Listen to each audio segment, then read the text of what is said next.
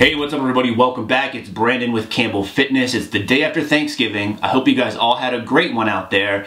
Hopefully you didn't track too many of your macros and you didn't really stress out about what you were eating. You just enjoyed the food and times with your friends and family. Unless, of course, you're an asshole and you don't have any friends or family who want to hang out with you. And in the meantime, maybe you spent your time watching some of my videos, in which case, hey, thank you.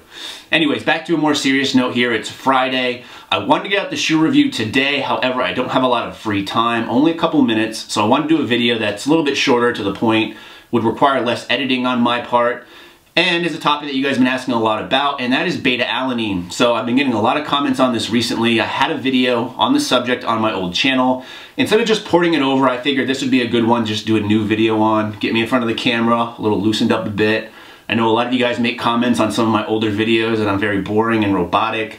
It's not so much that I'm not comfortable in front of the camera, although sitting here by myself, no camera crew, no other people in the room, looking at a camera, trying to have a conversation and be personable isn't necessarily the most easiest thing to do out there. It's just a lot of times when I do videos that are more educational driven, just simply information I want to pass on, it doesn't really do me any good to insert a lot of dick and fart jokes.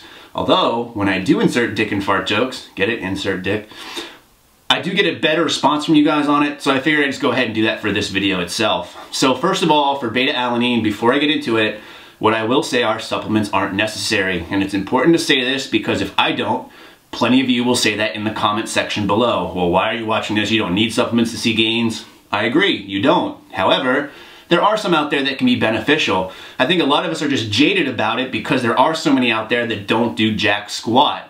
That's why I don't really do a ton of supplement reviews on here because most of them are just insert random supplement name here and then a two or three minute video of me saying, you know what, it hasn't been shown to actually do anything. So for this, beta-alanine is important because it has actually been shown to be beneficial. There's only really a few supplements, in my opinion, that fall under this umbrella. Beta-alanine is one, creatine's another, and possibly citrulline malate is the third, which I've done a video on, I believe, on this channel as well. Let me catch my breath because I'm starting to ramble a little bit. so for beta-alanine, typically you'll find it a lot of times in pre-workouts. However, anyone out there that knows anything about beta-alanine, you'll know you don't really need it as a pre-workout because it doesn't have any acute effects, meaning when you take it, you don't really have any immediate response or benefits of taking it. However, why most people take it in a pre-workout is one, because they're already taking other supplements at the time and the convenience factor of just adding it in makes it very simple. And number two, what most people know about beta-alanine is the tingling, or better known more scientifically as paresthesia. And what this really feels like are pins and needles. So some people get them in their nose, in the tips of their ears, their fingertips, wherever you might be. Some people have this response where they almost feel like they're numb in certain parts of their body.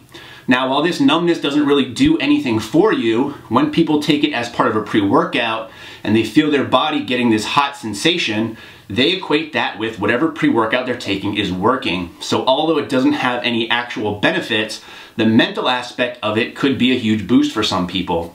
Now as far as what beta-alanine does, the basics behind it, I'm gonna keep it very simple.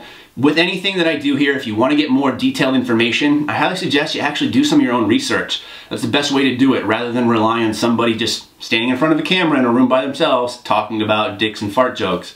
So as far as this goes, the main thing behind it is, is it helps with both energy production and fatigue, meaning you're not gonna be as tired going forward. So it helps kind of mask that and push through.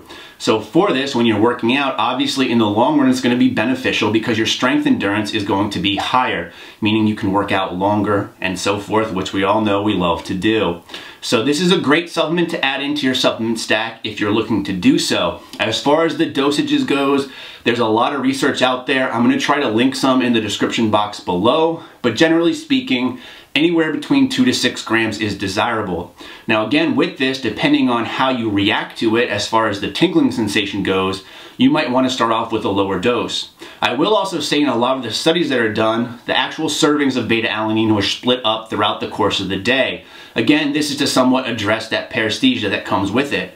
So let's say for instance you want to take three grams a day, you might actually want to split that up into one gram doses three times per day or if you can handle it, you can take it all at once. It's really up to you.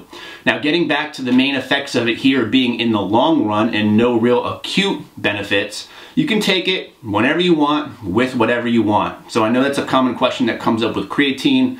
Don't really stress about it. Just make sure that you take it pretty consistently. Maybe not necessarily every single day, but at least try to take it on most days.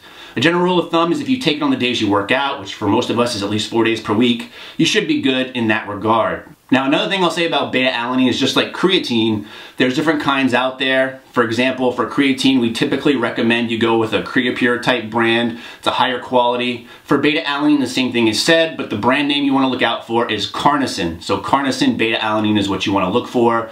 If you take Tier 1 or Totalis as far as pre-workouts go, they both include that brand name in there, so you know that they're solid. But in the end, beta-alanine, again, is something that could show you benefit in the long run. I would much rather you guys spend your money on something like this than with something that doesn't actually work. But regardless, it's your money, it's up to you, and in the meantime, stay big.